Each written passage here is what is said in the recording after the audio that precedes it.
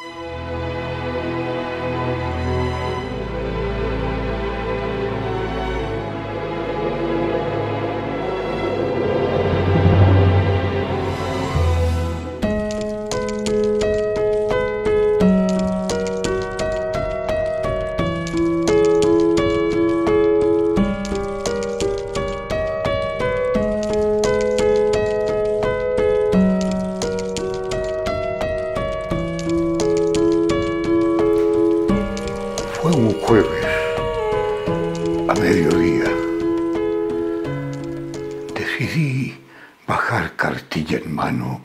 una caja de pastillas para la tensión, un frasco de complementos energéticos con coenzima Q10, conteniendo una dosis mayor de antioxidantes.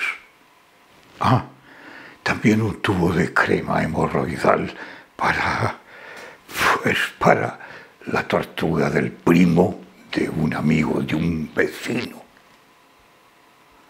Las calles estaban dramáticamente vacías y silenciosas.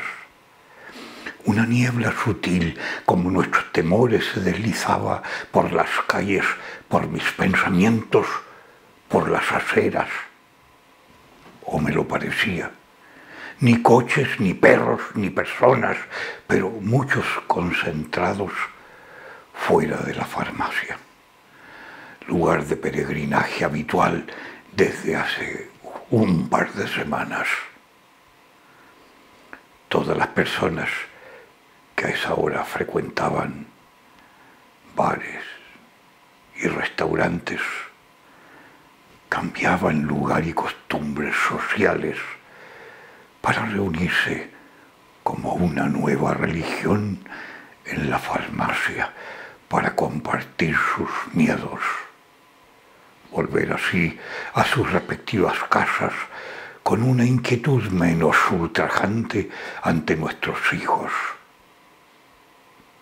Ahí la vi, ahí la vi por primera vez, con una coqueta mascarilla de color negro, con ribetes lilo, lila y cuyo elástico tras sus menudas orejas despejaban su pelo ensortijado sobre su amplia frente, sus magníficos ojos azules y claros con unos tintes turquesa y una ligera hipofacia interorbital se taladraron en los míos como dos balazos, dos estacas o, tal vez dos tornillos de 14 pulgadas recordándome con el gesto la distancia mínima exigida de dos metros entre uno y otro.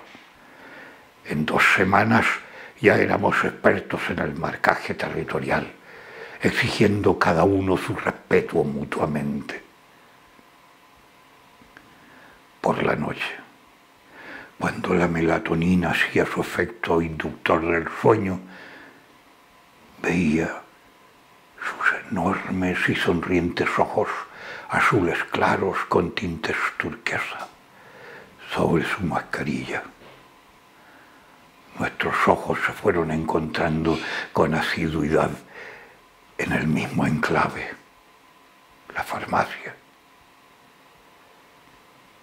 En seis meses nos acostumbramos a ver y creer que las personas solo tienen ojos en sus caras y las mascarillas son parte inherente por lo que debemos cuidarla para no coger una dermatitis mascarillásica.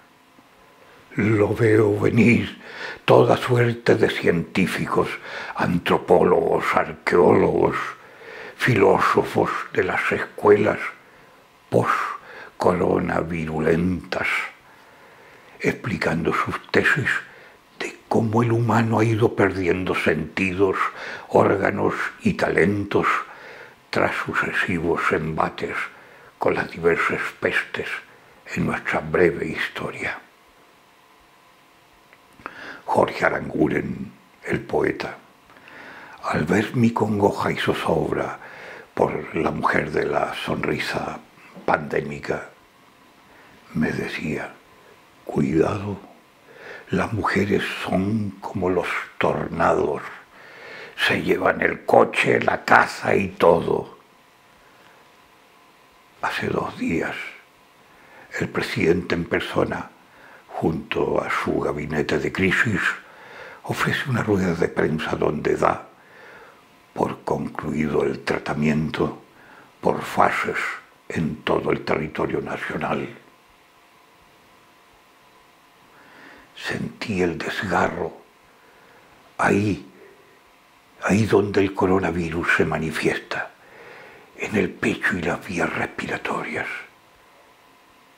La he buscado y recorrido inútilmente todos los caminos que llevan a la farmacia entre miles de personas con la cara desnuda. Si la mascarilla la hubiésemos, la hubiésemos llevado en los ojos y no en la boca, entonces, quizás entonces, sabría su nombre.